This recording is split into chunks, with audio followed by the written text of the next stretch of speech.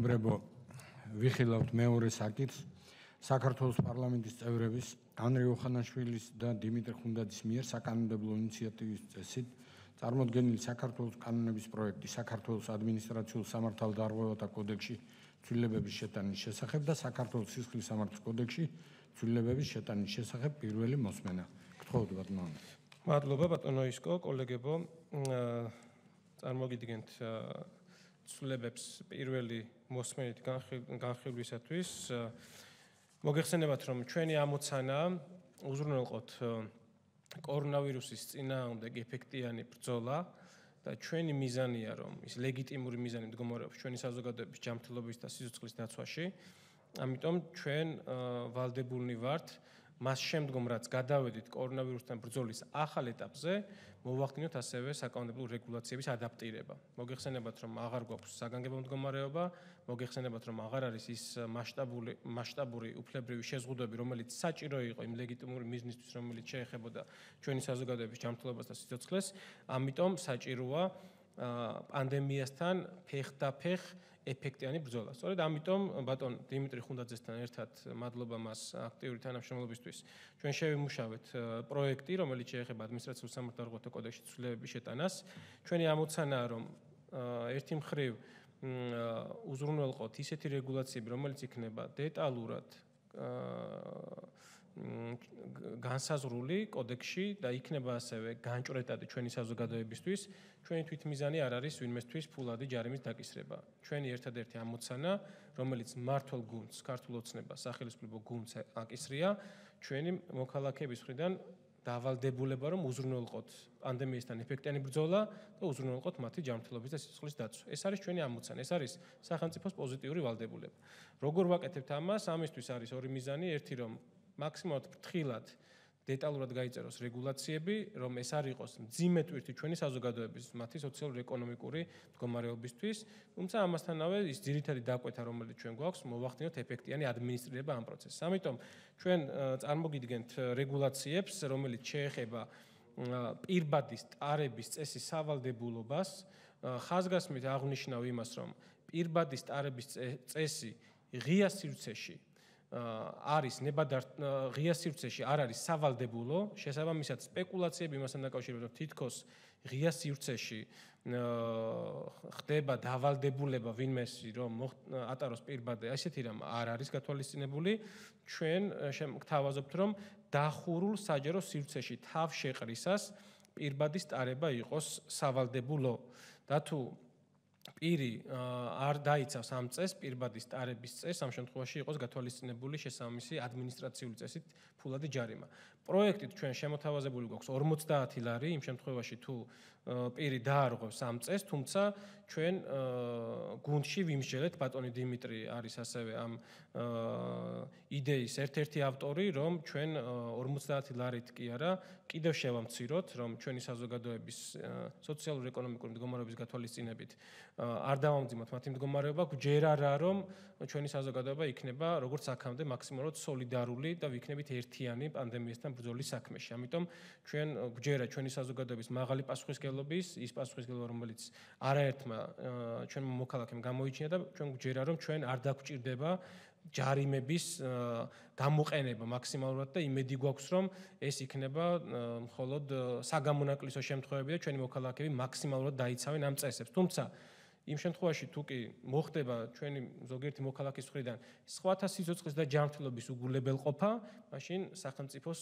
ვალდებულება დაიცვას ყველა სხვა პირის ჯანმრთელობა და სიცოცხლე იმ პირებისგან, რომლებისგანაც მომდინარეობს რისკი ამ ვირუსის გავრცელების და სხვათა სიცოცხლის და ჯანმრთელობის უგულებელყოფის. ამიტომ გთავაზობთ ბატონი დიმიტრი ციტყვის ალბათ ამას კომენტარის დროს, რომ ჩვენ პირბადის სტარების წესის დარღვევა დახურულ საჯარო სივრცეში განსაზღვროთ არა 50 ლარით, არამედ 20 ლარით. ასევე გათვალისწინებული ადმინისტრაციული წესით, რომ პირბადის არ მქონე პირის დახურულ საჯარო სივრცეში დაშვებისთვის იყოს ადმინისტრაციული პასუხისგებლობა, ანუ თუ კი იურიდიული პირი ვერ გააკონტროლებს ან არ გააკონტროლებს და დაუშვებს პირს პირბადის გარეშე, მას დაეკისროს ჯარიმა 500 ლარის ოდენობით. ესეც არის მნიშვნელოვანი იმისთვის, რომ იქ სადაც ხდება სერვისის მიღება, იქნება ეს ბანკები, იქნება ეს სავაჭრო ქსელები, თუ იქნება ეს სერვისით სარგებლობა და ეს არის საჯარო დახურული სივრცე, მოქალაქეები არიან ვალდებულნი ჩვენ ყველა ვატაროთ პირბადე.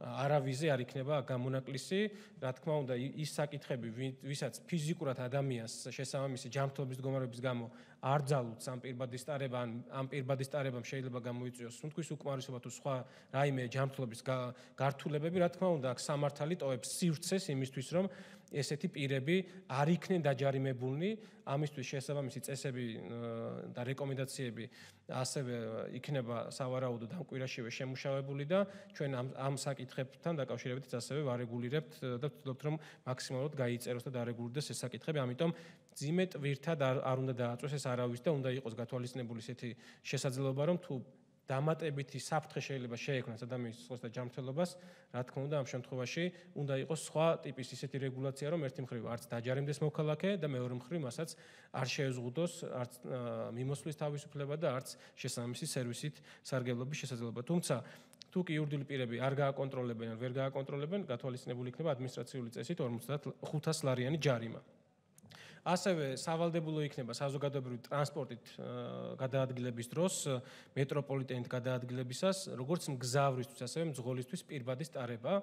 შესაბამისად აქაც ჩვენ განსაზღვრული გვაქვს რომ თუ მგზავრი არ ატარებს პირბადეს პროექტით გათვალისწინებულია პირველადი ვერსიით 50 ლარი, მძღოლის მძღოლის თუ არ ატარებს 50 ლარი, თუმცა აქაც გთავაზობთ რომ 50 ლარის ნაცვლად გავითვალისწინოთ ჩვენი გუნდის გუნდის შიგნით მსჯელობა და დავუწიოთ ეს სანქციაც 50-დან 20 ლარამდე, ანუ 20 ლარი იყოს განსაზღვრული.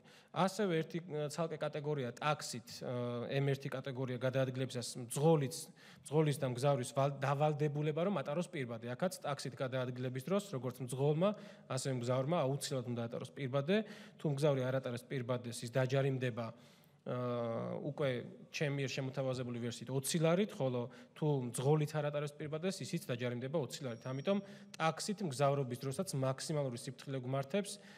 ყველა ეს საკითხები შეიძლება ისეთ საკითხებს, სადაც არის თავშეყრის ადგილები, სადაც არის უშუალო კონტაქტი, სადაც არის მეტი რისკი ამ დაავადების გავრცელების. ამიტომ აქაც გმართებს დიდი პასუხისგებლობა, ამიტომ გთავაზობთ, რომ აქაც 20 ლარიანი ჯარიმა იყოს განსაზღვრული. გარდა ამისა, შემოთავაზებულია პროექტით ისეთი მნიშვნელოვანი საკითხები, რომელიც შეეხება იზოლაციის და კარანტინის წესის დარღვევას. აქ არის შემდეგი შემთხვევები. ბევრი შემთხვევა, მაგალითისთვის, თვალსაჩინოებისთვის, გეტყვით, რომ იცით, რომ იმ შემთხვევაში უკვე საზღვარგარეთიდან ბრუნდება ადამიანი, თელ რიგ შემთხვევებში საჭირო მისი საკარანტინო სივრცეში გადაყვანა. თუ კი ეს პირი თავს აარიდებს ამ საკარანტინო სივრცეში გადაყვანას. ან გზავრობის დროს შესაბამისი კომპანიის მიერ არ იქნება დაცული შესაბამისი უსაფრთხოების წესები. ან თუ კი პირი გადაყვანილი იქნება საკარანტინო სივრცეში, მაგრამ თავს აარიდებს და იქ დაარღვევს წეს, ეს არის მძიმე ტიპის დარღვევები, რომელიც ქმნიან მომეტებულ რისკს ამ დაავადების გავრცელების. ამ შემთხვევაში ფიზიკური პირებისთვის გათვალისწინებულია 2000 ლარიანი ფულადი ჯარიმა ადმინისტრაციული წესით, ხოლო იურიდიული პირებისთვის 10000 ლარიანი ჯარიმა.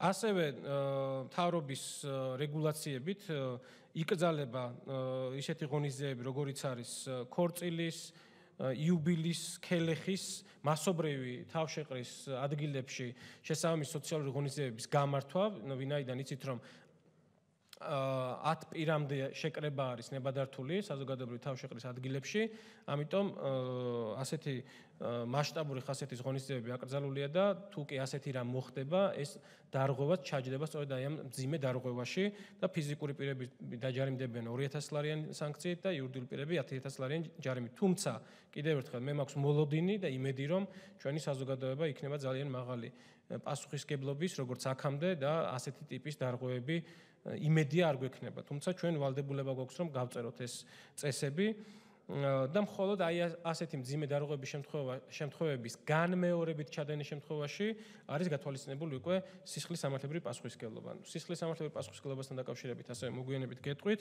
ეს არის ძირითადი არსი პრინციპების დონეზე ადმინისტრაციული სამართლებრივი კოდექსის ცვლილებების და შეკითხების შემთხვევაში მზადვარ გიპასუხოთ, შემდგომ შეგვიძლია სისხლის სამართლებრივი პასუხისმგებლობაზე ვიმსჯელოთ. დიდი მადლობა. მადლობა ბატონო ანდრი. კოლეგებო, კითხვები?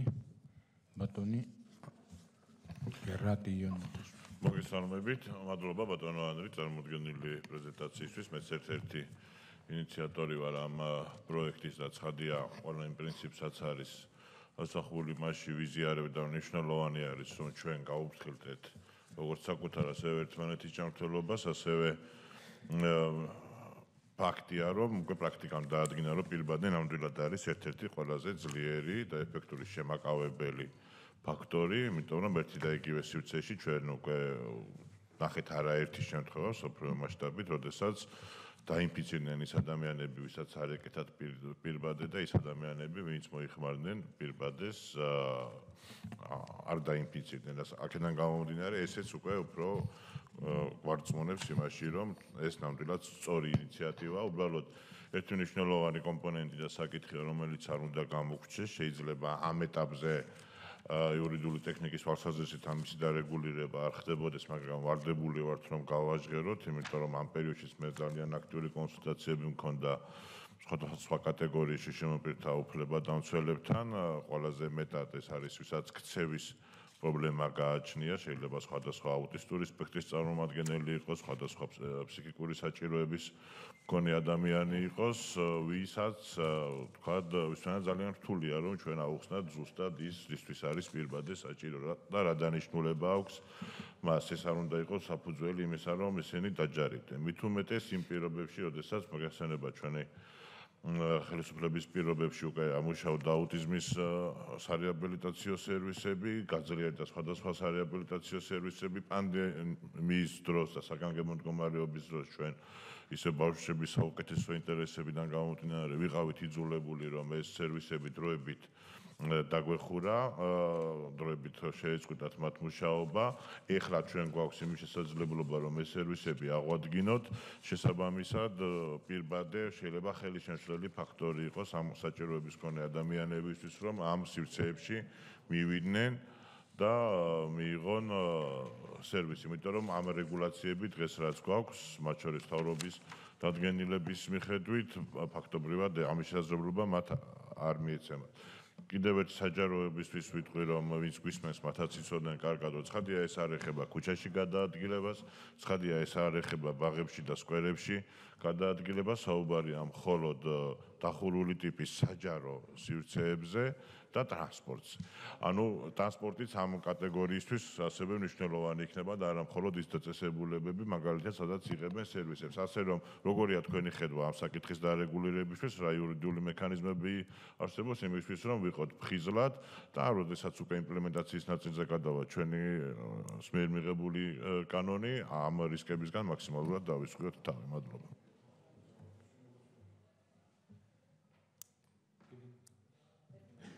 კითხვები? დაჩბერაია, ხო. მოგესალმებით. პირველში მივესალმებ ჯარიმის ოდენობის შემცირების ინიციატივას. რაც შეეხება შეკითხვას, როგორ მოხდება ამ რეგულაციების ადმინისტრირება, ანუ ვინ იქნება უფრემოსილი დააჯარიმოს? რა ინსტრუმენტები იქნება ამ კანონის იმპლემენტაციისთვის და რამდენად ანუ მაქსიმალურად ეფექტიანი რო იყოს მიზანი, რომელსაც ეს კანონი ემსახურება, როგორ მოხდება მსგავსი პირების დაჯარიმება და ვის მიერ. ამბობთ. შემდეგი ვინმეს თუ გაქვთ კიდე კითხვა? გთხოვთ. თქვენ აღნიშნეთ, რომ ადამიანი, რომელსაც აქვს ასტმა და სხვა ესეთი მოვლენები, თუ ის მოიხსნის და პირბადის გარეშე იქნება სადმე დახურულ შენობაში, ის არ დაჯარიმდება. მაგრამ ამისი კრიტერიუმი რა გვაქვს ჩვენ? რამე ცნობა აქ ადამიანს თუ უბრალოდ სიტყვაზე უნდა დაუჯეროთ? აი როგორ როგორ განსაზღვროთ ეს? მადლობთ. ნუ ხანდახან შეიძლება არ თქონდეს ასპა, მაგრამ თუნდაც გახდეთ და მოიხსნა.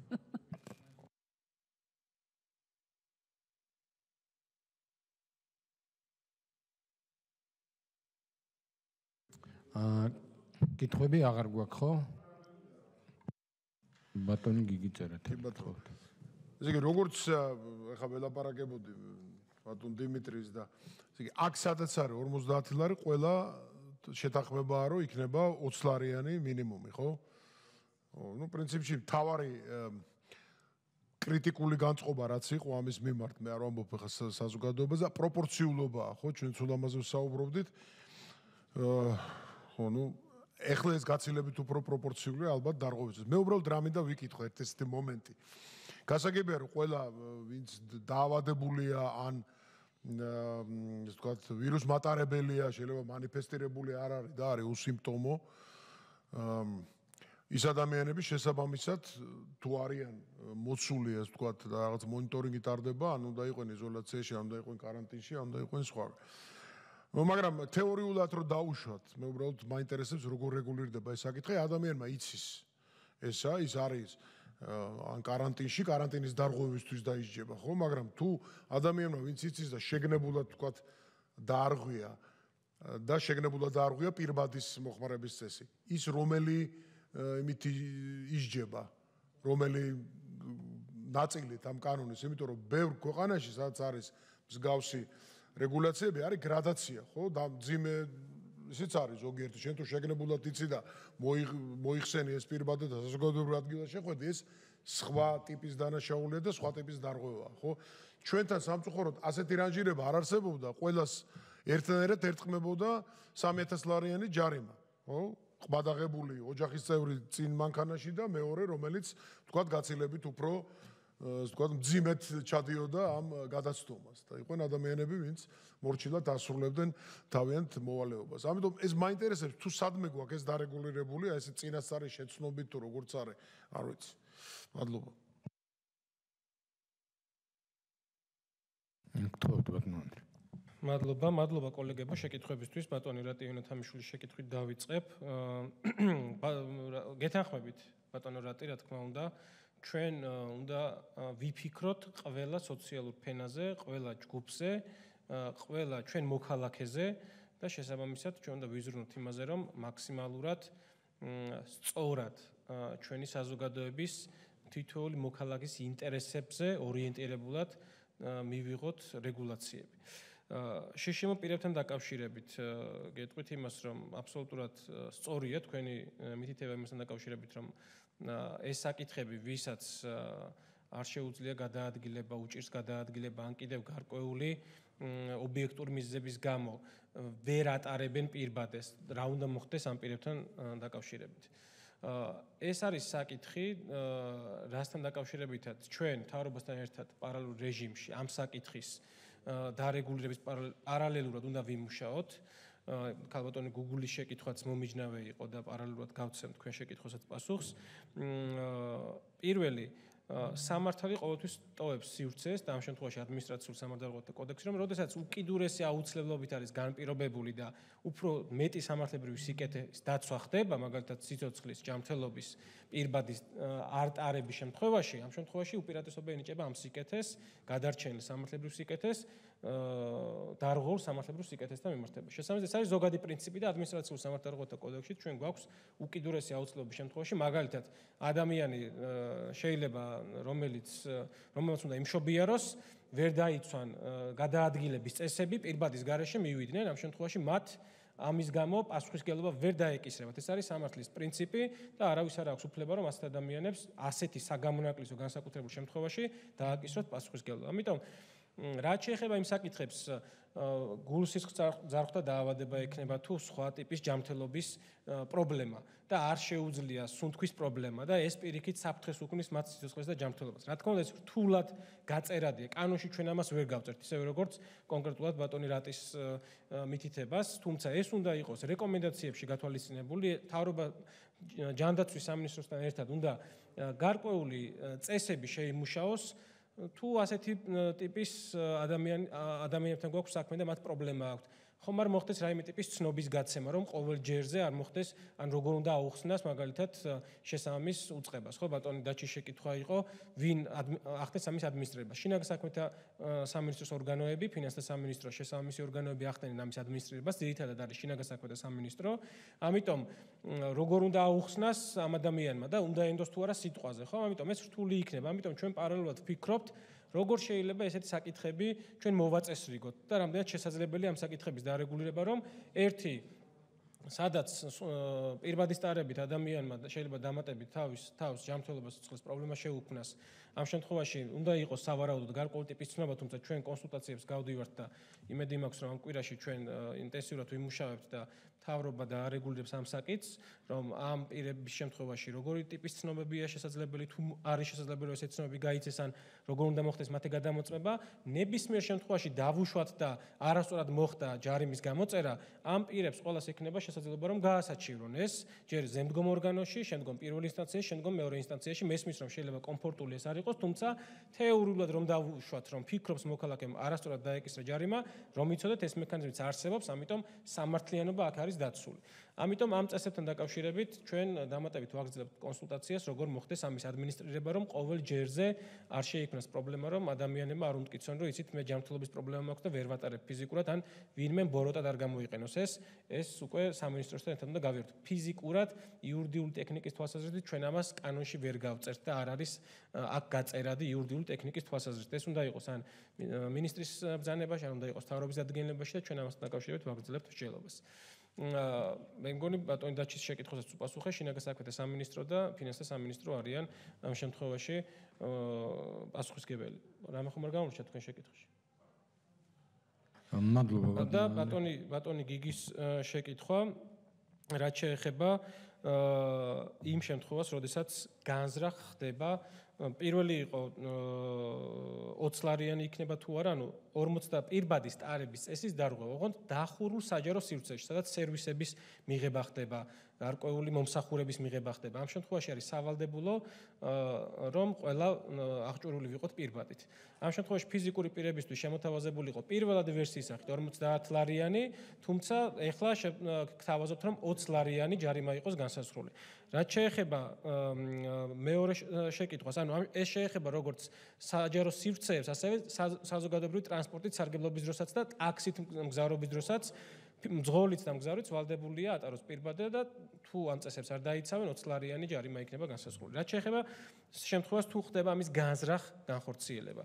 გეთანხმებით რომ სხვადასხვა ქვეყნის კანონმდებლობა სხვადასხვანაირ რეგულაციას ითვალისწინებს ცალკე არის გამოყოფილი განზრახ იქმედება რამაც გამოიწვია დაავადების განზრახ გავრცელება და კი და ამისთვის არის ძალიან მკაცრი ხუთწლიანი სანქციებიც არის გათვალისწინებული და შესაბამისად მკაცრი სანქციებია ფულად ჯარიმას რომ თავი დავანებოთ რომ ძალიან მაღალი ფულადი ჯარიმებია სისხლის სამართლის წესით იწება პირდაპირ ესეთი ტიპის დანაშაულების დასჯადობა ჩვენ შემთხვევაში ჩვენ გვაქვს გათვალისწინებული 52 მეათე მუხლი, სადაც მეოთხე ნაწილში გვაქვს გათვალისწინებული ძიმე კატეგორიის დარღვევები.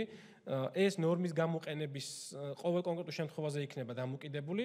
ერთი ვერსია რომ გამოყენებული იქნება სულ მცირე 52 მეათე მუხლის იზოლაციისა და каранტინის წესის დარღვევა, ადამიანი თუ ამ წესს არღვევს, განზრახ, ეს იქნება ფიზიკური პირისთვის 2000 ლარიანი ჯარიმა, ხოლო იურიდიულისთვის 10000 ლარიანი.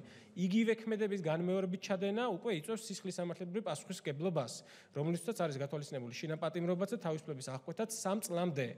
თუმცა ჩვენ გვაქვს სისხლის სამართლის კოდექსში ასევე სხვა მუხლები, საფრთხის, ეგრეთ წოდებული საფრთხის შემქმნელი დელიქტები და მაგალითად 132 მუხლი გვაქვს განსაკუთრებით საშიში ინფექციური დაავადების შეყრა.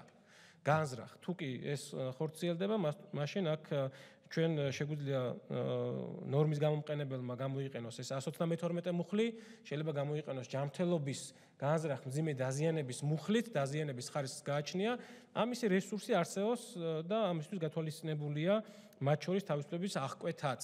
ამიტომ ნორმის შემფარდებელი შეზღუდული არ იქნება, ექნება ყოველი კონკრეტული შემთხვევის შეფასებისა და მასზე რეაგირების საშუალება. ამისთვის მუხლები გვაქვს. ხალბატონი გუგულის შეკითხვა მოვისმინე რესტორნებთან დაკავშირებით. რესტორანში ხა, კაი, შედის პირველად, მაგრამ რესტორანში პირბადით ხوار დაჭდება, უნდა ჭამოს ადამიანმა რა. და თან დახურული, არა, დახურული სივრცეა და ასეთ შემთხვევაში ეთყობა რა შეიძლება უსაქმელო რესტორნები რაც შეეხება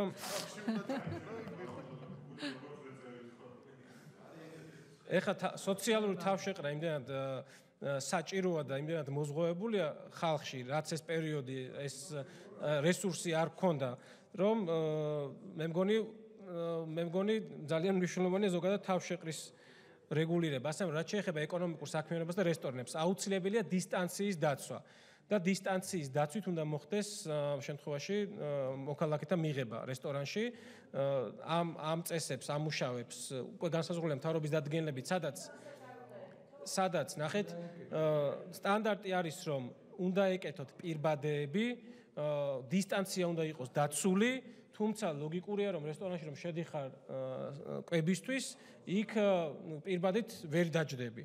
როდესაც საუბარია რიგში დგომაზე, როდესაც საუბარია ისეთ სივრცეზე, სადაც გიწევს სოციალურად სხვა სხვა მოქალაქეებთან ერთად დისტანციის შეიძლება დისტანციის დაცვაც გაჭირდეს იქ იქ აუცილებელი იქნება. პირბადე თუმცა რა თქმა უნდა საკვების მიღების დროს არ იქნება პირბადე სავალდებულო ვერ ვერ იქნება ფიზიკურად ასე რომ ამ რეგულაციებთან დაკავშირებითაც ასევე ჩვენ ამ კანონის მიღების პარალელურად ჯანდაცვის სამინისტროს და თავრობას მოუწევს ასევე ადაპტირება შესაბამისი რეგულაციების.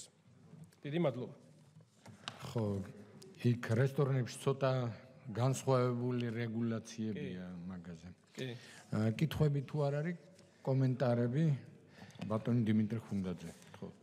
თქვენის ნებართვით ამჯერად ნიღავს მოვიხსნი რომ დისტანციები დაცულია და საფრთხეს არც მე წარმოადგენს არც ხვისგანველი ხო რაც შეეხება საკითხს რა თქმა უნდა მის საჭიროებიდან გამომდინარე დადგა ახეს სამსჯელო ჩვენს გუნჯის გუნდშიც და ზოგადადაც ეხა ის რო ეპიდვითარება ჩვენთან სასურველად გამოიყურებით, ასე ვთქვათ, ეპიდემიოლოგიურად, მაგრამ პანდემია, პანდემია რჩება და ერთ ქვეყანაში ეპიდემიოლოგიურად საკმაოდ მძიმე ვითარებაა. და ახლა ეს ჩვენი პოზიტიური შედეგი ეს არის მაინც დროებითი შედეგი, ეს არის საბოლოო შედეგი, იმიტომ რომ პანდემიას ახლა ცალკე აღებული ვერც ერთი ქვეყანა ვერ დაამარცხებს. ვირუს COVID ვირუს ვერ დაამარცხებს, ამიტომ ჩვენ მოგვიწევს გარკვეული წესების დამკვიდრება, რომ ვიყოთ დაზღვეული, დავიცოთ საკუთარი ჯანმრთელობა და ასევე გაუფრთხილდეთ სხვის ჯანმრთელობასაც. ეხლა ეს სასურველი შედეგი რაც იქნა მიღწეული, რა თქმა უნდა, ეს თავის არ მომხდარა. ზოგადად ვირუსის ხასიათი არის ამდაგვარი. სადაც არ ითვალისწინებენ რეგულაციებს, გარკვეულ შეზღუდვებს, ზოგჯერ რა თქმა უნდა, ეს გარკვეულ დისკომფორტსაც იწვევს, იქ შედეგი საკმაოდ ძიმედ დგება. და სადაც დამყოლობა საზოგადოების მხრიდანაც არის იმდაგვარი როგორც ჩვენთან იყო მინდა გითხრათ რომ საკმაოდ დამყოლი იყო საზოგადოება რეგულაციებიც იყო დროული და სწორი სწორედ ამიტომ ჩვენთან ეპიდემიოლოგიური სურათი გამორჩეულად ცხებისაგან და არაერთი ქვეყნისაგან არის პოზიტიური ეხლა ეს საგზავნები იყო შეზღუდვები მაგათაც საზღვარზე რა თქმა უნდა საკარანტინე ზონების შექმნა და შესაბამისი რეგულაციების დაწესება, რომ შესაძლო ინფიცირებული პირი სოციალურ სივრცეში არ გამოდიოდა ასე თავისუფლად ეპიდკონტროლის გარეშე და ხდებოდა მისი ასე ვთქვათ გატესტვა ადგილზე მისი დიაგნოსტიკა და შემდეგ უკვე საჭიროების შემთხვევაში მკურნალობა. რა თქმა უნდა, ძირითადი წესები ვირუსთან ბრძოლის ეს არის ფიზიკური დისტანცირება, ჰიგიენური წესების დაცვა და პირბადის მოხმარება. ამაზე ჯანაების სოფლიო ორგანიზაციამაც საკმაოდ აა ნათლად მოგვაწოდა რეკომენდაციები ნიღბის მოხმარებაზეც. დღეს კიდევ გაჟღერდა ამ ტიპის რეკომენდაცია, რომ სავალდებულოა განსაკუთრებით დახულულ სივრცეში, განსაკუთრებით იმ ლოკაციებში, სადაც სიმჭიდროვე არის მაღალი, იქ უნდა პირმა აიღოს ვალდებულება რომ ნიღაბი მოიხმაროს. კიდევ ერთხელ რომ დაიცვას საკუთარი ჯანმრთელობა და გაურთხილდეს სხვისასაც. ახლა რა თქმა უნდა დამყოლობა ჩვენთან იყო საკმაოდ კარგი, მაგრამ არის შემთხვევები, როცა ადამიანები აპასუხისგებლობას გაურბიან, ან შესაძლოა გარკვეული ყურადღების მოდუნების გამო ნიღბის garaშე შევიდნენ სივრცეში, კონტაქტში და შესაძლოა ისინი გახდნენ საფრთხე სხვისთვისაც. ამიტომ მე ვფიქრობ, ბოდიშ ვიხდი. ამიტომ მე ვფიქრობ, მიზანი რომ იქნას მიღწეული, საჭიროა გარკვეული საჯარიმო სანქციები ეს შემთხვევაში თუ კი პირი დაარღვევს ამ წეს და ნიღბის garaშე იქნება იმ ლოკაციაში, სადაც ის შესაძლოა საფრთხის შემცველი იყოს თავისთვისაც და სხვებისთვისაც. მაგრამ საჯერმო სანქცია უნდა იყოს იმ ოდენობის, რომ იყოს მიზანი მიღწეული. არც იმდენად ბევრი, რომ თქვათ პირებს, სადაც შესაძლოა მათთვის ეს ფინანსური ტვირთი საკმაოდ დიდი იყოს და უნდა გავითვალისწინოთ, რა ჩვენ საჯერო სივრცეებზე საუბრობთ, საზოგადოებრივ ტრანსპორტზე, ბაზრობებზე და შემდეგ. იქ რა თქმა უნდა მოსახლეობის ის ჯგუფიც რა თქმა უნდა იქნება, რომელიც არის დაბალშემოსავლიანი.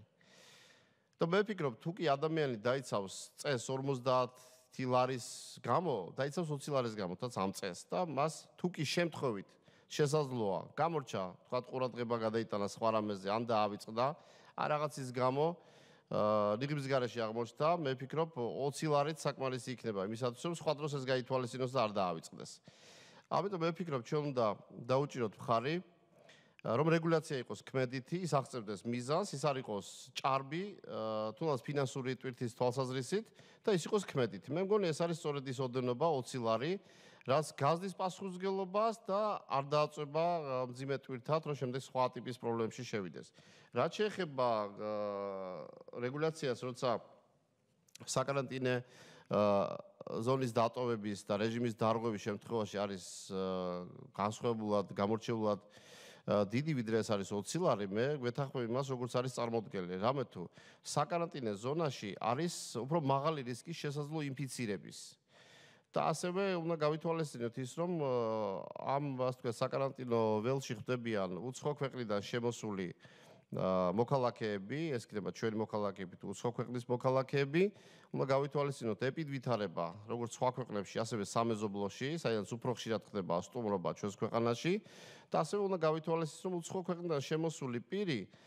ა ფინანსურად უფრო უზრუნველყოფილია ვიდრე ის ის ვინც შეძლოა ბაზრობაზე მიდიოდეს თქვათ რაიმე აუცილებელი ნიფთის პირველი მოხმარების ნიფთის საღირლად და მიდის ბაზრობაზე იმიტომ რომ დაზოგოს 5 10 თუ 20 ლარი ამიტომ შესაძლოა რომ საკარანტინე ზონაში აღმოჩნდეს პირი, რომელსაც შესაძლოა უღირდეს რომ გარკვეულ რეგულაციებს თავი დააღწიოს და მისთვის იმ საჯარიმო სანქციაზე ნაკლები დაწესებული აღარ იყოს ბაკონტროლებელი და და აღარ გაითვალისწინოს და დატოვოს ეს ზონა და შესაძლოა ის ხებისთვის აღმოჩნდეს ინფექციის გავრცელების და ჯანმრთელობის ზიანის რისკი. ამიტომ მე ვფიქრობ, ერთ ნაწილში დავტოვოთ 2000 ლარიანი ჯარიმა, მაგრამ რაც შეეხება 50 ლარის ოდენობას, ის დავიყვანოთ 20-ზე.